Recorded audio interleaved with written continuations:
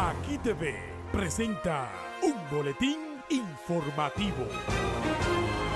La Oficina Nacional de Meteorología, ONAMET, informó que un sistema de alta presión y el poco contenido de humedad mantendrá el cielo mayormente soleado con algunos incrementos nubosos aislados, acompañados de chubascos débiles de corta duración.